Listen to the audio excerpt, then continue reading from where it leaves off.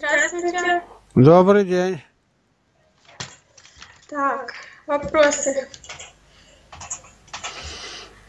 Вот, хочу спросить по поводу, принимается ли э, крещение католиков и православных, а православных католическое крещение? Нет. А Католическое, почему? если погружение полное было, принимается. А если просто как они привыкли кропить, там вот это крещение-то и нет никакого обмана. Мгм. А Евро- если полное? А если что? Если полное, Полное признается, конечно. и там, и там, то есть если погрузил, Да, да. Мгм, я поняла. Э, Вы мне скинули там вопросы приблизительные по крещению. Там было написано, э, что обязаюсь э, принадлежать русской или российской православной свободной церкви. Но Что это мы занятия вели. Занятия когда вели, это у нас тогда было так. Но это к нам относится, к нам. А вы-то не так. К русской православной зарубежной церкви, царской, которая не связана с декларацией Сергия, то, что они осоветились так. И мы поэтому заранее показывали.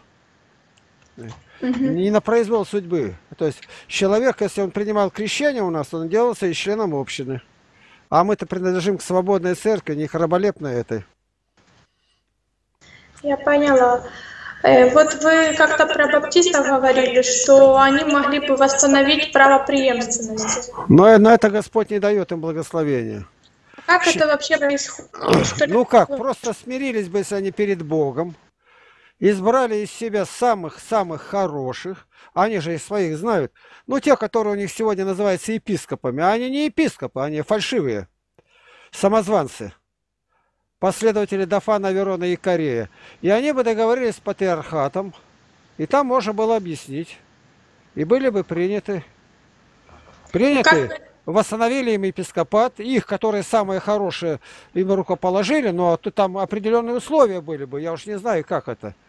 По мне, вот я четкую программу знаю, они бы сказали, ну мы принимаемся, но иконам целовать мы не будем. Ну не целуйте, не говорите, что идолы. Они же рисуют их, и у них на картинках есть. Дальше. Ну, а у нас вот не принято Богородице молиться-то. Ну, вы не хулите, можете не молиться. Вы признаете, что она дева была? Да.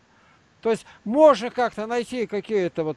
Вот сейчас смотришь, митрополит Илларион Алфеев, это по внешним церковным отношениям, он заместитель патриарха Кирилла. И он молится по-старообрядчески. Два перста, шапка у него такая. Мне сегодня скинули, и он там знакомый священник, патриарши, они не старообрядческие, но они вернулись в служение тому, как было до Никона, до 1651 года. 56 года примерно как. То есть можно как-то находить при желании иметь мир. Но сектанты, они не идут на это. Не идут, потому что они от многого отказаться не могут. Они не должны иметь толкование, договориться сразу, ложное толкование. А толкование надо сравнить, которое церковь поставила. Чтобы они не верили, что тысячелетнее царство будет когда-то на земле. Не просто рукоположить, а чтобы они приняли учение. Они скажут, ну мы вот эти посты не соблюдаем. Настаивать не надо, но Великий пост 7 недель, среду, пятницу обязательно. Апостольское 69 правило, апостольское. Правила апостольские. Мгм. Ну, то есть, То есть они должны ну-ну, должны я, я и говорю. Говорите. апостольские правила. Ну, да, вот я говорю, что Закон. можно уступить? Пойти в на, сог- на согласие. Вот они говорят, а мы мне сказали без бороды, чтобы не было. Борода это вообще это срам один. Женоподобные лица. Это стихия мира. Ну, то есть верят во Святую Троицу. Они скажут, а мы ангелам не молимся. Ну не молитесь, но не хулите. То есть можно где-то сгладить, и чтобы они приняли, но учение свое записали. И за остальным должны следить. У православных, если кто-то не так делает, его уже исследуют, а потом еретики заносят и вышвыривают. И баптисты, чтобы строго смотрели. И они были бы церковью. Вот у англикан англиканская церковь. И они доказывают, что у них рукоположение идет от апостольских времен. И перед революцией уже почти совсем соединились. А тут революция помешала, так и осталось. Сейчас бы англиканской церкви, как таковой, э, враждебная у нас, она и так не враждебная. Не было бы. Мы родные, как с католиками были бы. А католики еретики говорят. Ну, еще еретики в этом мы не знаемся. Надо помогать друг другу освободиться от ересей.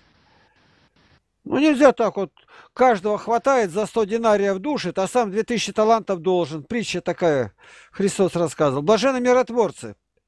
Вот у православных это декларация митрополита Сергия Строгородского, что мы властям подчиняемся во всем, вашей радости, нашей радости. Этого принять никак нельзя. Православные даже патриарши, даже немедленно освободиться от нее.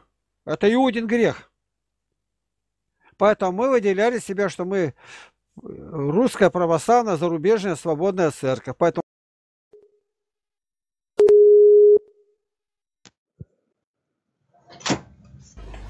Ну как? Видно?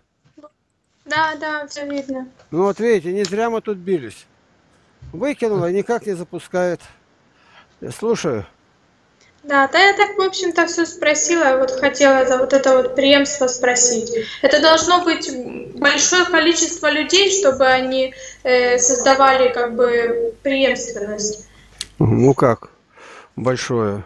Ну, доп, допустим, много. апостол Андрей пришел на Русь. Петр от Петра католики. Они рукополагают епископов. Следующее, они же новые епископы. От этих епископов другие. То есть непрерывно благодать Духа Святого передается. Угу. Бог так сделал. И вот эти родословные, и тогда указывается, кто от кого есть до последнего времени. Ни в православии, ни у католиков не было, хоть один священник сам, как у баптистов. Я священник. Но он самозванец. Бог установил порядок. Деяние 14.23 говорит, рукоположили пресвитеров каждой церкви. А зачем рукополагать, когда без них любого избрали или сам стал?